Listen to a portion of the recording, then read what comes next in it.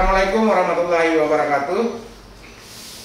Eh, kami akan menginformasikan kondisi terakhir percepatan penanganan COVID-19 di Aceh per tanggal 14 April 2020 hari ini hari Selasa kondisi pukul 15.00 waktu Indonesia bagian Barat dapat kami laporkan jumlah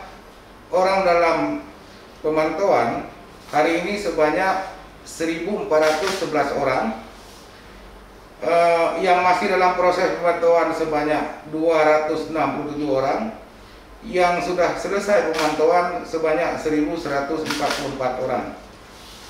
Sementara jumlah pasien dalam pengawasan hingga hari ini sebanyak 58 orang yang masih dirawat 4 orang yang sudah pulang sehat sebanyak 53 orang dan yang meninggal satu orang sementara pasien yang positif COVID atau konfirmasi positif COVID-19 itu sebanyak lima orang yang dirawat sudah tidak ada lagi, sudah nol kasus karena e, sudah sembuh sebanyak empat orang dan yang meninggal sebanyak satu orang. Meskipun tidak ada lagi pasien yang positif sedang dirawat, selain empat orang yang dirawat di Rumah Sakit Umum Dr. Zainal Abidin Banda Aceh dan e, rumah sakit rujukan di kabupaten kota, namun kewaspadaan kita menjalankan protokol pencegahan COVID-19 tetap harus kita laksanakan.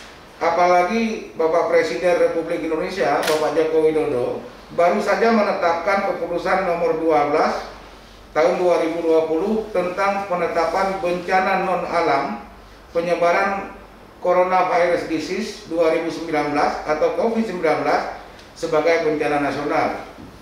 Dengan penetapan yang demikian eh, bahwa virus penyebaran virus ini adalah sangat meluas, maka kewaspadaan kita tentu juga harus lebih meningkat, menjalankan protokol pencegahan, tetap di rumah saja kalau tidak ada keperluan mendesak, lebih sering mencuci tangan pakai sabun di bawah air mengalir selama 20 detik, kemudian eh, tidak ke tempat keramaian, dan menjaga jarak dengan orang lain. Kalau memang tidak bisa menghindari harus pulang ke kampung, ya tetap menjaga jarak dalam bus umum, memeriksa diri di puskesmas terdekat sehingga tidak menjadi potensi penularan bagi keluarga kita di kampung, terutama orang tua kita, kakek kita yang sudah berumur dengan resiko tinggi penularan COVID-19.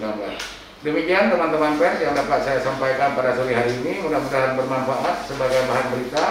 Saya akhiri di sini. Wabillahi taufiq wa Assalamualaikum warahmatullahi wabarakatuh.